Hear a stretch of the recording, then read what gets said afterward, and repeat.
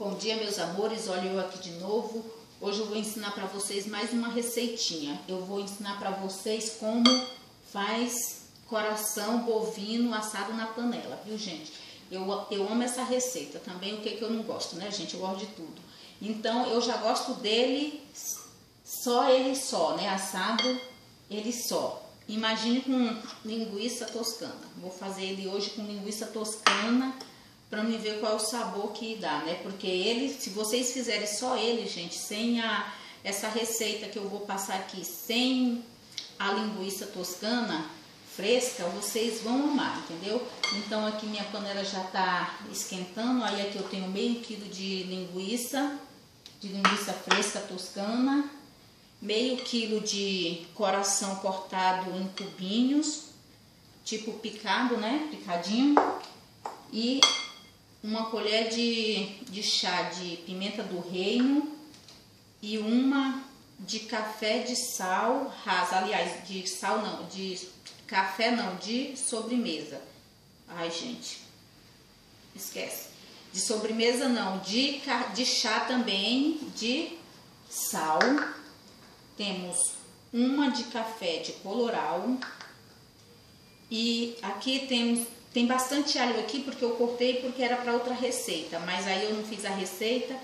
Aí aqui eu vou usar metade desse daqui. Temos três dentes de alho bem grandes, só que aí eu vou usar só a metade, né, gente? E aqui duas cebolas médias cortadas em pedaços grandes.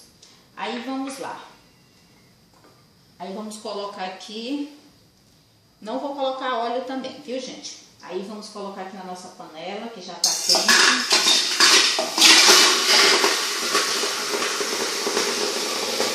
E o, nosso coração já tá, já tá lavadinho.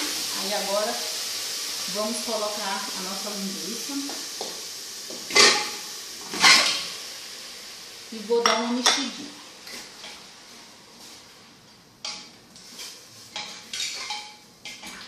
Aí vamos colocar os nossos temperos. Vamos colocar o alho, a metade do alho, né, gente? Tem bastante alho, porque senão daqui a pouco eu tô rotando só alho, né? Aí, alho, a cebola,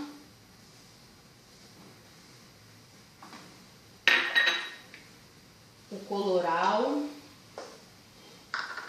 a pimenta e o sal, eu não vou colocar bastante sal, gente, porque já tem sal na nossa linguiça, né? Aí eu vou provar quando ela já estiver pronta, e se precisar de mais sal, aí eu ponho, viu?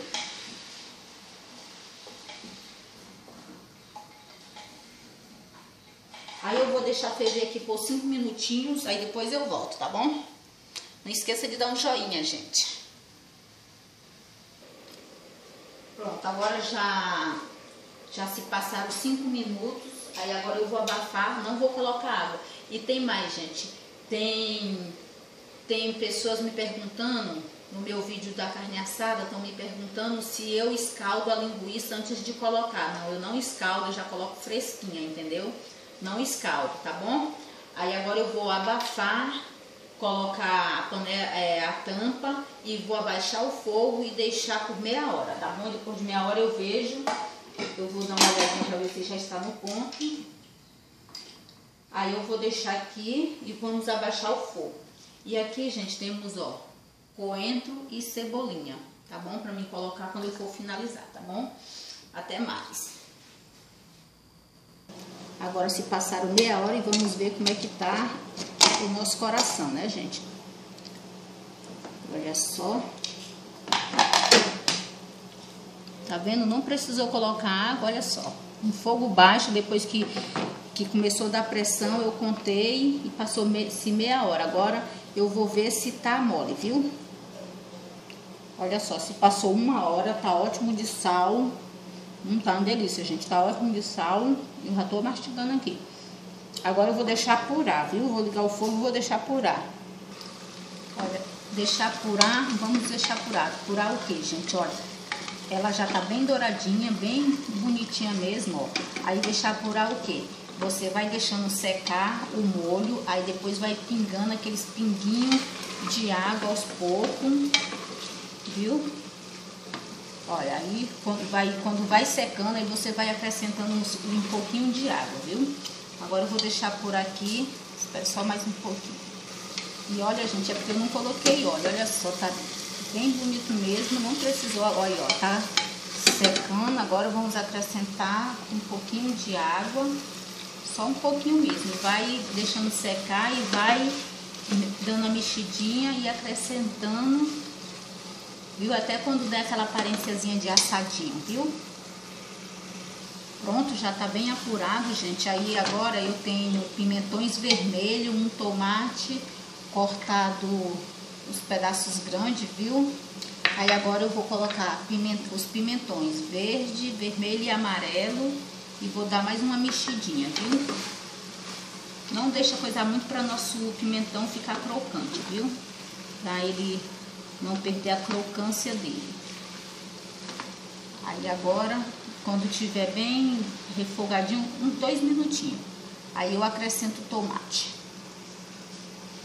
E tem mais, gente. Eu cortei a nossa, a nossa linguiça em três, três pedaços, viu? Olha só. Muito maravilhoso, muito gostoso mesmo, viu? Agora vamos colocar os nossos tomates, viu?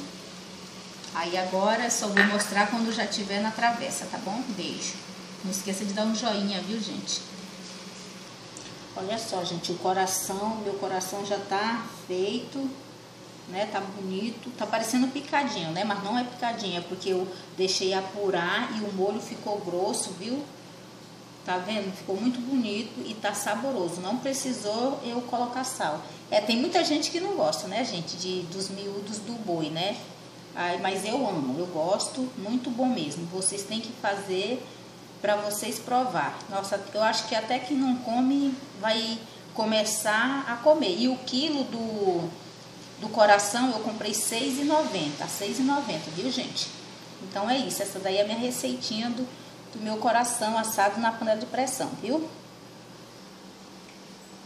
Aí agora eu vou provar, gente, eu refoguei uma chicóriazinha, uma chicória, refoguei no azeite com alho e vou provar aqui pra ver a mistura dos dois.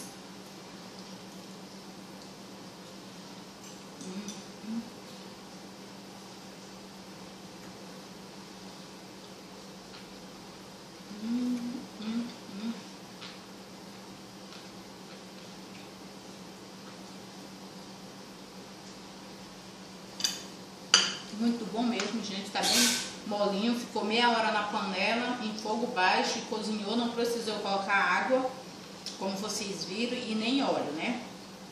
Então, espero que vocês tenham gostado dessa minha receitinha do dia. Fique com Deus. Não esqueça de dar um joinha.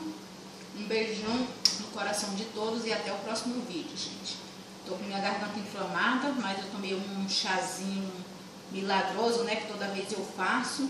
Mas já tô quase melhor, gente. Espero que não piore, porque começou ontem. Essa dor na garganta já vinha acontecendo um tempinho, mas hoje acordei ruim mesmo. Tá doendo aqui minha garganta. Então é isso, meus amores. Um beijão, tchau e até o próximo vídeo. Beijo!